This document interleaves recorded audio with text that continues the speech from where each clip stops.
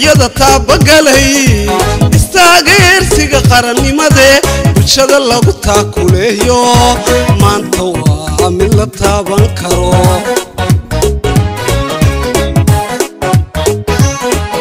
Siyaasadda toosan iyo toosmadu way harag dhigay. Dabada aan ku taaganahay tallaabada horow mar kale Comme vous pouvez le constater, euh, actuellement, aujourd'hui, nous nous trouvons à la berge de l'Oued de qui servait euh, de port sec pour l'embarquement de tous les bétails en provenance du grand voisin de l'Éthiopie.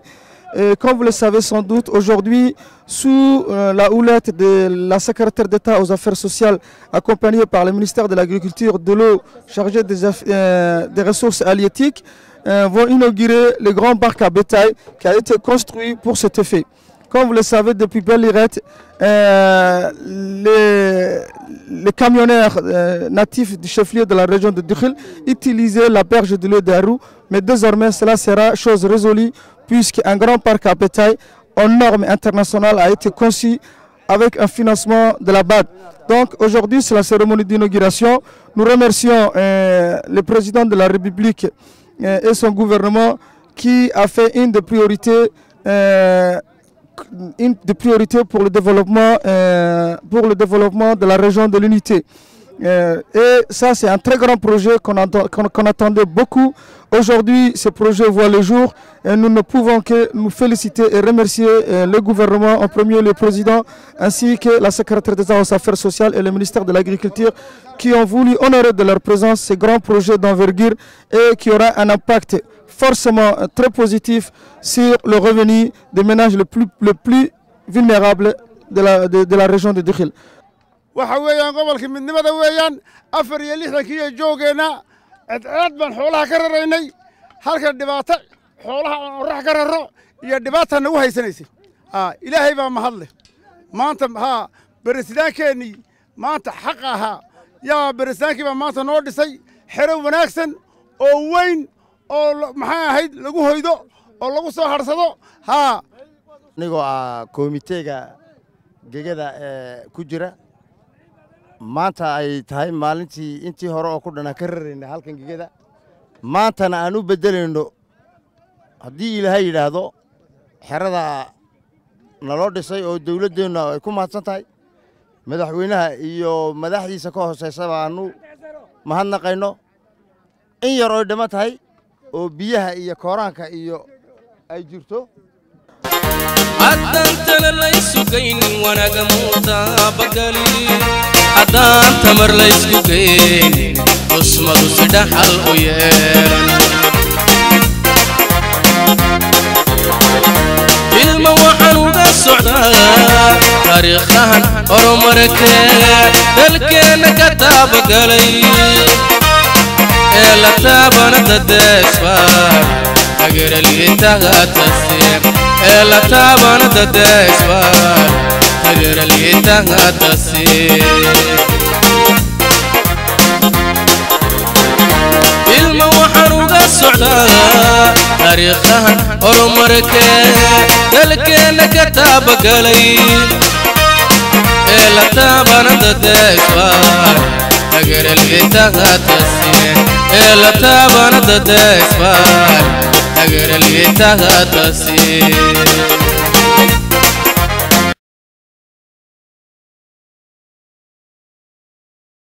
La ministre des Affaires sociales a également visité les bénéficiaires du CEPEG au Conseil régional de Dekildi.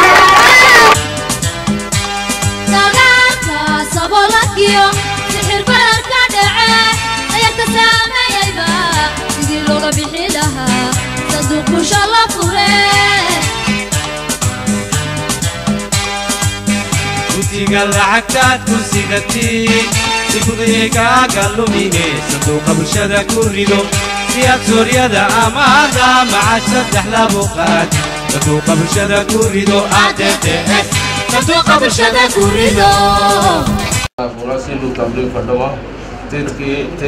وزارة مشروع باقي بارو بحيث هذه المشاريع صفة الشاه وسيسي تنقل سيف تعبير ممكن قانون ficilna tildaayuusnaa sininkaadunagay tildaayuusiniyaha dadka siningiisa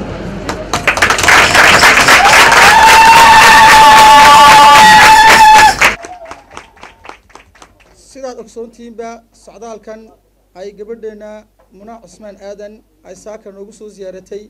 Waa socdaal baaxaddiisu aad ay u dheer tahay u ballaaran tahay.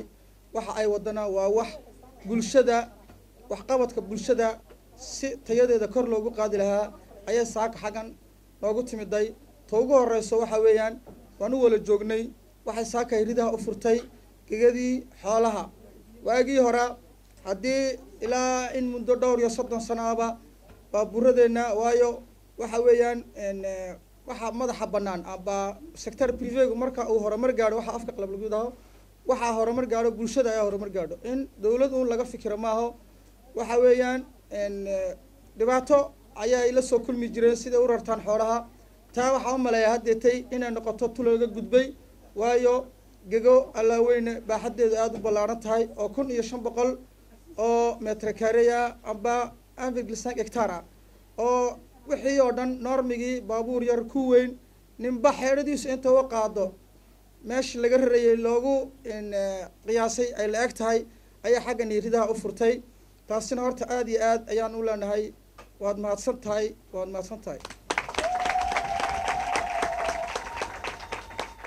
Wasaaraddan uu madaxweynuhu u dhiibay ee uu ku aaminayna waxa weeyaan horey magaca unbaa yar kala gedisano markii hore waxaa la odhan jira un secretariat d'etat à la solidarité nationale. Si yaroo kale unbaa loo bedile waa bulshadii unbay waxqabadkeegu tahay. Annakuna haddaa dadkii bulshada ka soo jeeday aan nahay dee waxaan u maleeyaa inaan xidhiidh weyn amba koono kastaba in aan waxqabadkeega iyo waxqabadkeegu inay wax mid a u tahay. Waayo waa maxay? Waa sidii aan bulsho ugu shaqayn lahayn. Iyaduna bulshada unba u shaqayn ka ubuk joogo ilaa ka dikil joogo ilaa ka caasimada joogo. Laakiin anugu ka gedisana waxa waa dikil unbaan anagu ku gobanaynaa. Maadaama heer dikil nahay inta dikil joogto uman inaan ogsoonaano ah inkastay haddana tahay ka dikil jooga hadduu horumar gaadho waa horumar waddanka o dhan wala taabtay unbay noqon doontaa.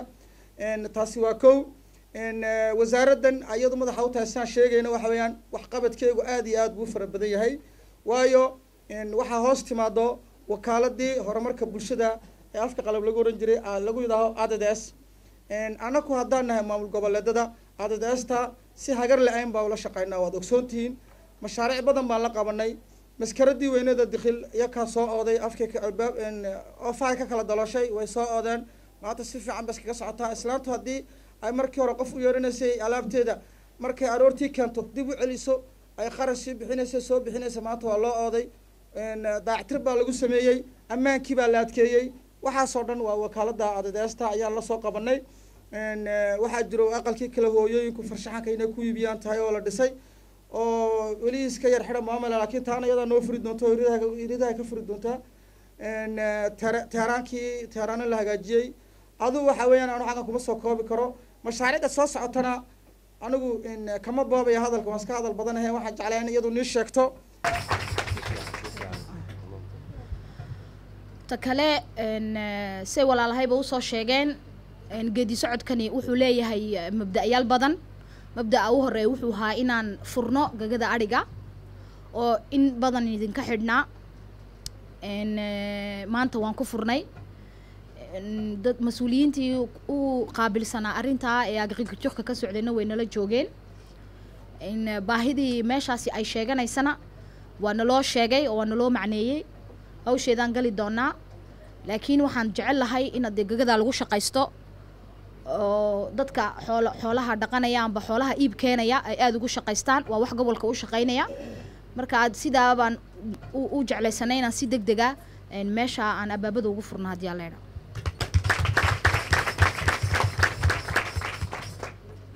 ta kale mawduuca labaad aan u imanay waxa weeye inaan nila qaybsano hawshaan halkan ka hayno xogeyo dowladeedka qaabilsan arrimaha bulshada oo tiigsanaya een, eh, oo qaalada u saabsan horumarka bulshada ee adedes inuu niga wargeliyo wixii hawl loo qabanayo gobolka dikhil horena loogu qabtay iminkana la doonaya in la sii ballaadhiyo inaan idiin sheegno oon idinka wargelino oon idinkana nidhaahna dee qaybtiini ka ciyaara oo halkii aad awalba dakhil joogtay joogsada yaan ayaan u imanay.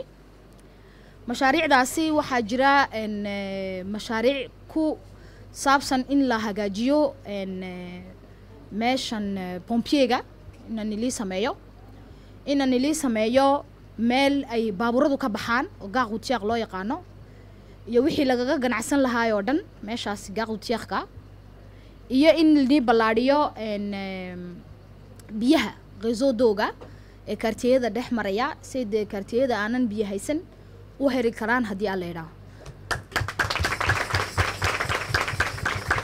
markaas mashaariicdaas waa mashaariicda u waaweyn ee hawl badan dooni doona isdiyaarin badan u baahnaan doona een, marka hana raagsanina waan ku jirnaa shaqadiisii dadkan u qaabilsan hawlahaasina way wadaan shaqadeedii inta kalena way daba socon doontaa haddii aan la idhaaho laakiin waa wax loogu talagalay in loo sameeyo gobolka dikhil mashaariicda doon la doonaya in la la, la ballaadhiyo waxaa ka mid a mashruuca uu soo sheegay cabdiraxmaan ee gobollada aadka u fog in lagu dadka tabaalaysan ee xoog u liita lagu siin lahaa taageero macaawimaad say uga bixi lahaayeen saboolnimadaasi waa wax bilowa waa wax imika uun noo bilaamaya aan doonayna inaan annaguna aragno say u socoto wadannada qaarkoodii hore ugu mareen. Annaguna waxaan doonaynaa inaan hirgelino. Dee markaa taaka taakay u socon doontaa imika waxaa laga bilaabayaa zonda yubuki baan u malayn. Markaa waan soo dhaadhici doonaa. Degmooyin kastaba say u kala dheer yihiin ayaan programka u ballaadhin doonaa. Laakiin horta dhaqaajiskiisii baan sameynaynaa. Intii dad ay mas'uuliyiintu soo sheegeen inaan horta lacagtii siino oon ku eegno caafimaadkooga iyo tacliinta ubadka in lagu dadaalo ay tahay. Programku labadaabuu iyuu iyuu taabsanayaa. Eh, markaa taasaan horta dhaqaajinayna haddii aa la idhaaho waxaa ku daba xigi doonaa program s- kol horena nii socday oo dadka jaamacadda ka ka dikhil ka soconaya ee jaamacadda jabuuti tagaya. Eh, ee dee jabuuti markay tagaana dee dad kale la fadhiya in iyakana lagu garab galo oo jaamacadda dhexdeeda laga enregistreeyo ay waxay cuni lahaayeen loo fudaydin karo siday dee culayska ay keeni karaan iyakuna ay uga fududaato ayaan taasina wuu wuu- wuu sii dabagalayaa sanadkana imikuu noo bilaamay mashaariic kale oo waxaa jirta imika aan la furnay wasaaradda tacliinta oo ku shaqo leh ubadka naafada ah ee liiseyada dhigta. Liiseyada magaalada iyo liiseyada goboladuba waa concerné oo iyakana waa la taabsan. Dadkaasi ubadada naafada leh iskoolada ka dhigta in iyakana lagu gargaaro oo wax mucaawimaada la siiyo. Siduu ilmahaasi iskoolkiisii ay u ay u xoojin lahayd ee u garabgari lahayd haddii aa la idhaaho halkan waxaan ka furnay conseil regionaalka bureau. Aan nidhi waa bureaugii arrimaha bulshada ka shaqaynayay. Bureaugaasi waxaan nidhi waa mas'uuliyadda conseil regionaalka ayuu hoos yaalaa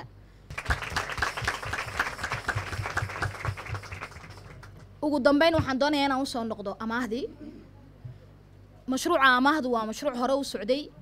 Waa mashruuc iminkana la doonaya ballaadhintiisa in la xoojiyo. Waxaa la doonayaa ina shicibka hal kasta uu joogaba inuu ka faa'iidaysan karo. Tii hore uga faa'iidaysatana in loo biiriyo. Tii aanan helinna in la yidhaaho ka faa'iidayso mashruucaasi waxaad fahanteen la dagaalanka saboolnimada ayuu aad ugu yahay. Lafdhabar waxaan doonaynaa shicibku inay ka baxaan baahidan joogtada ah. Waxaan doonaynaa shicibku inay shaqaystaan. Nin walba taagiisa wuxuu gashan karaya gashado. Halkaana waxaan doonayaa inaan ku soo noqdo hooyada hawsheeda ayaa xoog uga muuqata. Hooyada hawsheeda ayaana tustay inay amaahdani ay tahay wax socda oo shicibka wax u taray. Marka waxaan jeclaysanay inay hooyadu noqoto udubdhaxaadkii hawsha nala wax badataan ahay laakiin naloo eego dad farsamo wada sheekaysan wixii naga maqan naga hoos wax isku lacagta amaaha waxaan joognaa iminka nus boqol ah iyo nus konton aan joognaa. Konton u dhammaaday konton labaad baan ceshanay oo qolo jadiida. Qoladii hore kontonka qaadatayna boqolkiibay wadaa way iska socotaa wayna iska fiican tahay dani ninkii ay geysay ay gelisay unbaa qaatay. Dadku ma wala qaadanin wayna dee iska fiican tahay baahi waa lagaga bixi karayaa ninkii iska barakaysta ee iska bismilaysta ee iska dadku way shikinayaan. Oo waxay leeyihiin maxaa ribaa ku jirtay waxbay yidhaahdiin habase ahaatee dani waxaa la yidhi nin baahan baa bahalalaysta ninkay baahi u geystay uu iska qaatay. Uuna iskaga dee maad aragtay meermeera waxa weeyaan horta ilaahay baa nimco leh baahida ilaahay baa bixiya. Wixii aad maad aragtay barakaysatana wuu ku barakoobaa annagu noo barakoobay waan iska wadanaa. Wixii aan eejad ahaan maahina wixii aan ku qabsanay dee waan iskaga wadwadanaa wayna iska fiican tahay. Waxaan ugu mahadinaynaa dowladdeeyada ayaan ugu mahadinaynaa. Laakiin waxaan leenahay saakuna kontomal fibe maratayo away على كعو كداي هدعتي يوهنا ما قوم راح تدعتي تحلتهاي تسنك صدو لقعو كني وسن كل السلق حسناه أوي بحر ولقراه مليون عم عمبال إن شاء الله إذا نما نمه لترت مايو مشارة مايو لكن دايلو إليليسيه جامعات بريطانية كيليسيه بريطانية دي ديعيه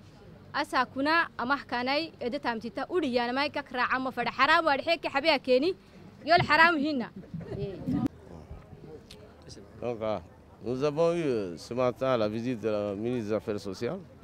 Et euh, au cours de cette cérémonie, nous avons inauguré le parc à bétail de Dikil, qui est un nouveau parc à bétail, euh, qui a été construit euh, à travers un projet initié par la DDS sur un financement de la Banque africaine.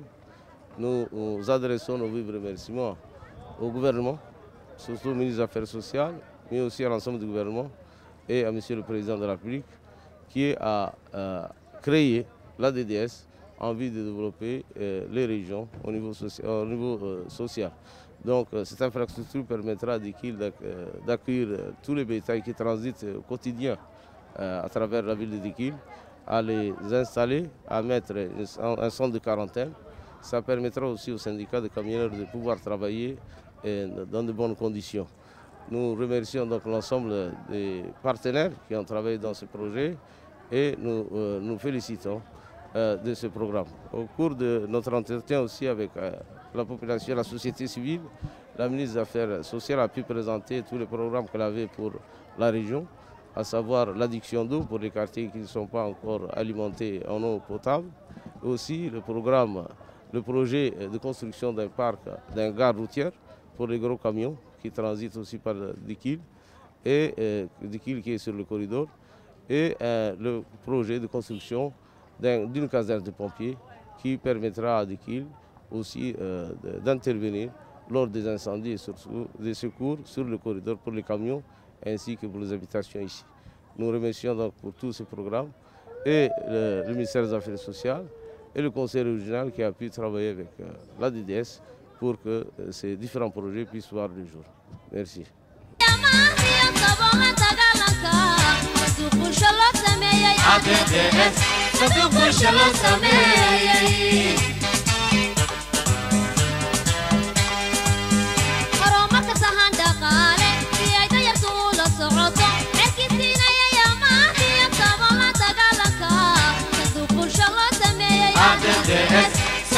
shalom samei Sadok mo shalom samei Sadok mo shalom samei Sadok mo shalom